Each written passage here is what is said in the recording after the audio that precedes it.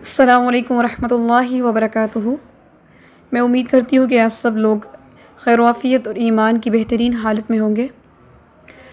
احمد ونصلی علی رسول الکریم اما بعد فاعوذ باللہ من الشیطان الرجیم. بسم الله الرحمن الرحيم رب اشرح لي صدري ويسر لي أمري واحلل عقدة من لساني يفقه قولي رب زدني علما اللهم فقهنا في الدين رب يسر ولا تعسر وتمم بالخير وبك نستعين آمين يا رب العالمين اجين شاء الله ہم صورت الفاتحہ کی لاسٹ آیت نمبر سیون اس کی تجوید اینڈ تفسیر ہم دیکھتے ہیں۔ سب سے پہلے اس کی تجوید دیکھتے ہیں۔ صراط الذين أنعمت عليهم غير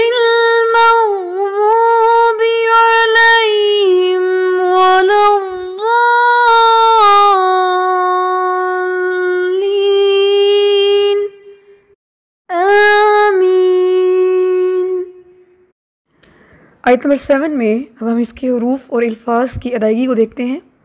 صراط الذین میں صاد یہ ہیوی لیٹر ہے، اس میں را وہ بھی ہیوی ہے اور طا یہ بھی ہیوی ہے۔ یعنی کہ صراط میں تینوں لیٹرز ہیوی پڑھے جائیں گے۔ صراط الذین، یہ نہیں پڑھیں گے، صراط اللہ۔ تو وہ لفظ جو ہے، اس کے حروف، ان کے جب مخارج بدلیں گے تو وہ جو لفظ ہے، وہ بھی بدل جائے گا۔ صراط الذین زی زال نرمی سے پڑھیں گے۔ زین انعمت۔ اس کو ہم یہ نہیں پڑھیں گے، انعمت، یا انعمت ٹھیک ہے؟ انعمت۔ علیہم غیر غین کو آپ ہیوی کریں گے۔ غیر اس کو ریل نہیں پڑھیں گے، یہ بھی را نیچے زیر ہے تو باریک پڑھا جائے گا۔ غیر المغ اس کو نارملی کیسے پڑھا جاتا ہے؟ مغ مغضوبی۔ تو ہم کیسے پڑھیں گے؟ غیر المغضوبی علیہم ولا الضالین ٹھیک ہے؟ نارملی کیسے پڑھتے ہیں؟ جو انداز درست نہیں ہے وہ کیسے ہے؟ ولا ولا ولا ٹھیک ہے؟ وعد کو ہیوی کرنا ہے اور لام کے اوپر شد ہے تو مد کرتے ہوئے لام کی جوائننگ کرنی ہے۔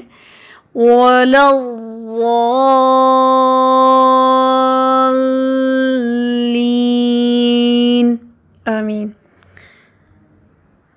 جی آج انشاءاللہ ہماری سورۃ الفاتحہ جو ہے وہ کمپلیٹ ہو گئی ہے تجوید کے حوالے سے۔ اب ہم اس کی ایک شارٹ ڈسکرپشن دیکھتے ہیں اس آیت کی۔ صراط الذین انعمت علیہم۔ اس آیت میں بیسیکلی تھری کیٹیگریز ہیں اور تھری کائنڈ آف پیپل کا ذکر ہے، جس میں پہلا جو ہے وہ ہے صراط الذین انعمت علیہم۔ اس پورشن میں ان لوگوں کا ذکر آتا ہے جو لوگ بلیسڈ اور ریوارڈڈ اور انعام یافتہ لوگ ہیں۔ غیر المغضوب ایک یہ کیٹیگری ہے یہ وہ لوگ ہیں جن پر اللہ تعالیٰ کا شدید غصہ ہے۔ اور تیسری کیٹیگری ہے ولاغالین تیسری کیٹیگری کے وہ لوگ ہیں جو سیدھے راستے سے بھٹک کر غلط راستے کی طرف چلے گئے ہیں۔ اب ہم نے دیکھنا ہے یہ تھری کائنڈ آف کیٹیگریز جو ہیں، ان کو ڈیفائن کرنے کا مقصد وہ کیا ہے۔ سروت اللہ زین انعام تھا انعام تھا انعام سے ہے، نعمت کو بھی کہتے ہیں۔ نعمت کسے کہتے ہیں؟ بلیسنگس کسے کہتے ہیں؟ نعمت ایک اچھی حالت کو کہتے ہیں، ایک آرام، آسائش کی حالت کو کہتے ہیں۔ اب آپ دیکھیں کہ قرآن میں جو انعام یافتہ لوگ ہیں، ان کا ذکر آتا ہے۔ اب یہاں سے مراد وہ کون سے انعام یافتہ لوگ ہیں؟ اس کی ڈیٹیل آگے صورت النساء میں آتی ہے۔ آیت نمبر سکسٹی نائن میں ومن يطع الله والرسول فأولئك مع الذين أنعم الله. فأولئك مع الذين أنعم الله عليهم من النبيين والصديقين والشهداء والصالحين. وحسن أولئك رفيقا.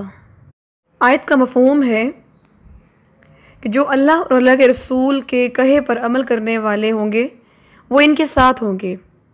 اور جن پر اللہ کا انعام ہے، جو نبی صدیقین، شہداء، صالحین لوگ ہیں، یہ بہترین ساتھی اور اچھے رفیق ہیں۔ انعام یافتہ لوگوں کی کیٹیگری جس کو ہم نے دیکھا ہے، اس سے ہمارے لیے کیا عمل کی بات اور سبق ہے؟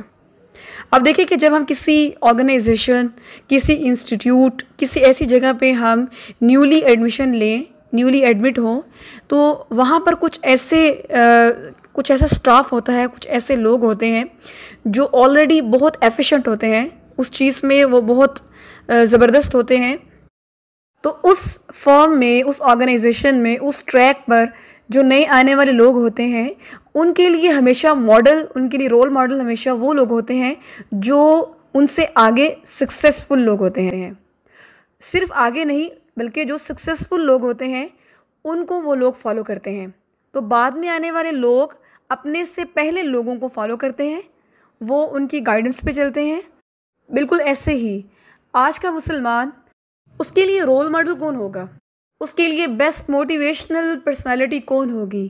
تو یہ سراد اللہ دین انعام تھا یہ ہمارے لیے وہ پوائنٹ ہے جہاں پر ہماری موٹیویشن ہماری سکسیس ہماری ڈیولپمنٹ ہر چیز یہاں پر ہے۔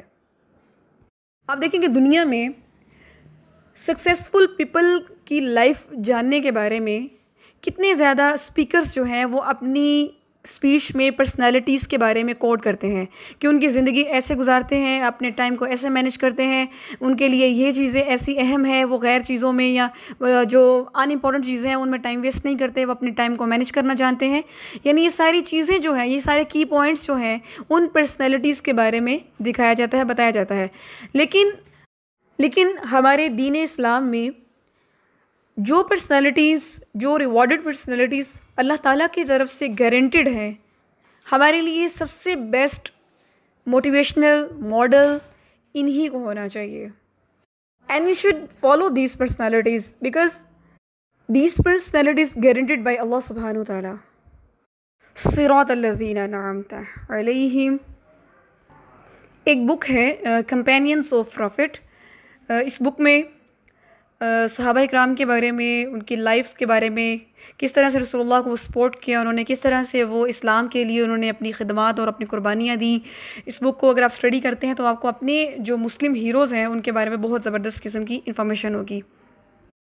اب آپ دیکھیں کہ آرگنائزیشن ہو یا انسٹیٹیوٹ ہو، جہاں پر سکسیزفل پیپل ہوتے ہیں، جہاں پر کامیاب لوگ ہوتے ہیں، وہاں پر کچھ ایسے لوگ بھی ہوتے ہیں جو ان رولس کو فالو نہیں کرتے؟ یعنی کہ وہ رولس بریک کرنے والے ہوتے ہیں انسٹرکشنس کو فالو نہیں کرتے۔ ہر جگہ پر ایسے لوگ ہوتے ہیں۔ اب ایک انسان جب خود کو ان دو کیٹیگری کے درمیان دیکھتا ہے اور وہ کامیاب ہونا چاہتا ہے، تو وہ کبھی بھی ان پرسنالٹیز کو فالو نہیں کرے گا جو اس کے اگینسٹ ہوں گی۔ بلکہ وہ انہی پرسنالٹیز کو فالو کرے گا، انہی کے ٹریک پر چلے گا جو سکسیس کی طرف گامزن ہوں گے۔ تو یہاں پر جو سیکنڈ اینڈ تھرڈ کیٹیگری ہے، وہ ہے غیر المغضوبی علیہم ولغالین تو سیکنڈ اینڈ تھرڈ کیٹیگری ہے مغضوب اور ضالین کی۔ مغضوب یعنی جن پر اللہ تعالیٰ شدید ناراض ہوئے، شدید غصہ کیا۔ اور ضالین جو بھٹک گئے یعنی سیدھے راستے پر چلتے چلتے وہ سائڈز پہ نکل گئے۔ سیدھے راستے سے سائڈ پر ہو گئے۔ اب آپ دیکھیں کہ جو بالین دلل جو ہے، اس کا جو روٹ ورڈ ہے، اس کا جو اپوزٹ ہے، وہ کیا ہے؟ ہم نے اوپر پڑھا، اہدنا۔ تو ہدایت، اس کا اپوزٹ کیا ہے؟ گمراہی۔ اب آپ دیکھیں کہ کسی بھی کلاس میں ایسے لوگ موجود ہوں جو اپنے مالک کی نافرمانی کرنے والے ہوں، اس کے رولز کو بریک کرنے والے ہوں، اس کی انسٹرکشنز کو فالو کرنے والے نہ ہوں، تو ایسے لوگ جو ہوتے ہیں، وہ اپنے باس کی نظر میں ان کا کوئی مقام نہیں ہوتا۔ یعنی ان لوگوں کی وہ رسپیکٹ نہیں ہوتی ڈیو ٹو ڈس آرڈرنیس تو اب یہ نئے آنے والے کی ریشنلٹی ہے، اس کی عقل مندی ہے کہ وہ کس چیز کو، کس رستے کو اختیار کرتا ہے۔ بالکل اسی طرح سے مومن کے لیے یہاں پر بتا دیا گیا ہے کہ تمہارے لیے درست ٹریک جو یہ ہے، لیکن اس کے ساتھ ساتھ کچھ ایسے ٹریک بھی ہیں جو انسان کو اللہ کی نافرمانی کی طرف لے جاتے ہیں۔ تو اس آیت کے اندر ہمارے لیے ایک بہترین انالیسس بھی ہے کہ ہمیں چوزن پیپل کے ٹریک پہ چلنا ہے یا جو ریجیکٹڈ پیپل ہیں، ان کے ٹریک کو اختیار کرنا ہے۔ اللہ تعالیٰ سے دعا ہے کہ اللہ تعالیٰ ہمیں ہدایت کے راستے پر استقامت کے ساتھ چلائے اور اللہ تعالیٰ ہمیں اپنے ان نیک بندوں میں ان مقربین میں شمار کرے جو اللہ تعالیٰ کے انعام یافتہ لوگ ہیں۔ جزاکم اللہ خیر۔ سبحانک اللہم و بحمدک نشہد اللہ الہ الا انت، نستغفرک و نتوب الیک۔ السلام علیکم ورحمۃ اللہ وبرکاتہ۔